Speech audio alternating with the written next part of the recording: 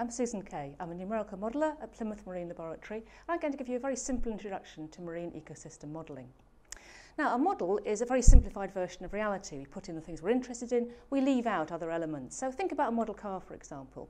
It's got wheels, it's got a roof, so it's quite useful for telling you what a car looks like. It's no use at all if you're interested in what an internal combustion engine does or how it works. So you've got to build a model that tells you about the system you want. So, for example, here's the very simplest model you might construct for a marine ecosystem. We've got two kinds of phytoplankton. Sorry, two kinds of plankton. The phytoplankton picking up energy from the sun, using it for photosynthesis, and then zooplankton eating them. The Phytoplankton will allow nutrients to grow. When the two kinds of plankton die, they might become detritus in the water. Some of that will be dissolved, become further nutrients, and you've got a cycle building up.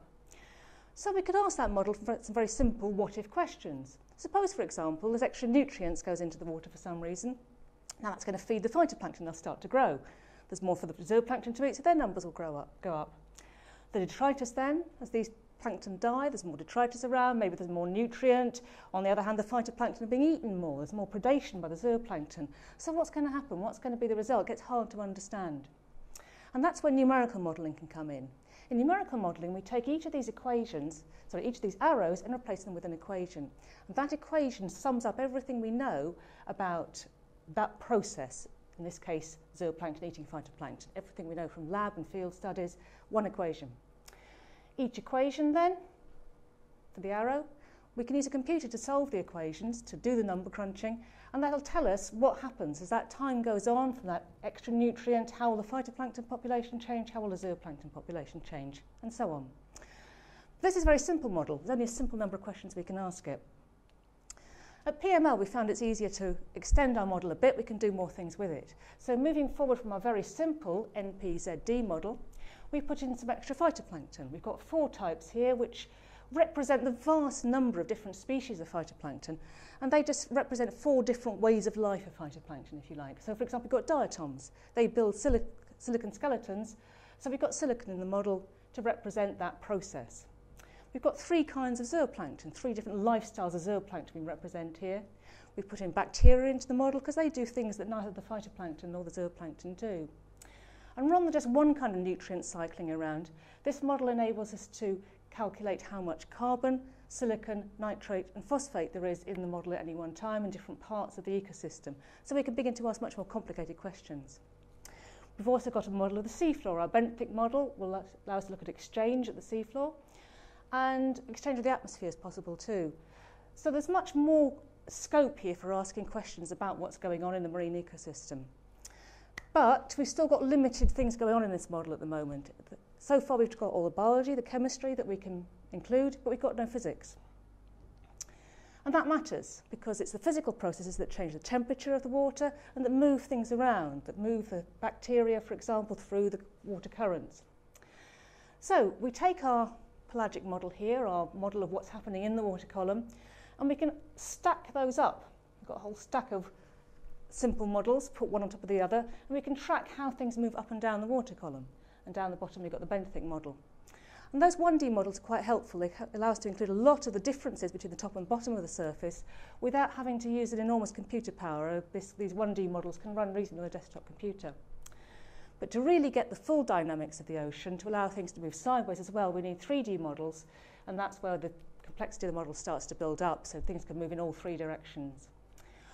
As well as adding the physics within the sea, we also add what's coming in from the outside. So we've got rivers adding nutrients and fresh water. We've got what's happening up here in the atmosphere, the weather that's going on. We can force our model with those externals, and that'll allow us to ask questions about climate change, for example, or about carbon dioxide levels in the atmosphere. How will those change the system? So we can take our biogeochemical model here of the ocean ecosystem, we can put it into one of the physics models, and we can apply that on a variety of scales, from here at a river estuary, the shelf seas around the whole UK, shelf seas in the global scope, and also in the whole oceans around the world, the deep ocean as well as the shallow shelf Seas. And here's an example of the kind of output we might get from our model. These animations were put together by my colleague Yuri Artioli, who was working on a project on ocean acidification. This one shows the present day, and this one a future. If we look first at the present, we can see that the pH here of the ocean is changing as time goes on. This is clicking away at one day per picture, so we can see the animation here of the seasons changing, The red is the higher pH, the more alkaline ocean. The blue is the more acidic ocean. And that's the present day. We can see there are seasonal changes and so on. We can see the same in the future. So 100 years later in 2080, we've still got seasonal changes. We've got the same scale here, and yet everything's looking a lot bluer. The ocean is much more acidic.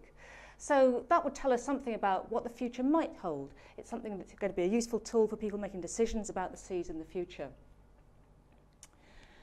we can't ask that question really as to what, whether that's the true situation 100 years time until we get to 2080 but we can ask our model do you really show us what the world is like today? So a really important part of our work is to validate our model against present day data.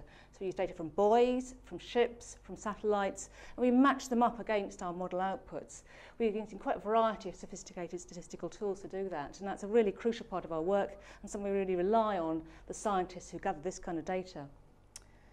We also want to work to develop our models, so we're trying to produce better models than we've got already, again working with lab and field scientists who can tell us about the kinds of things that these organisms do. One example, we were getting inside the cells of the phytoplankton. What's going on there? An example might be how they respond to high light levels. They put more resources into protecting themselves against the high light. In the dark levels, they put more resources into photosynthesis. And this is an area that many scientists are working on at PML, so it's a, a very good um, collaboration for us. We're also working to improve our model of the seafloor. At the moment, our seafloor model has three layers. Maybe that will be improved if we put extra layers in. We'll be able to then get the seafloor model bottom better. So, to finish off with, here's a quick summary of what we do at PML with our models. We apply them into looking at climate change, looking at energy and carbon mitigation, and also for looking at short-term forecasting of marine ecosystems. Also, a big part of our work at PML is to improve our models, building on those very simple foundations that we started with, how can we go on and develop and make our models better and better to do these jobs even better in the future? Mm.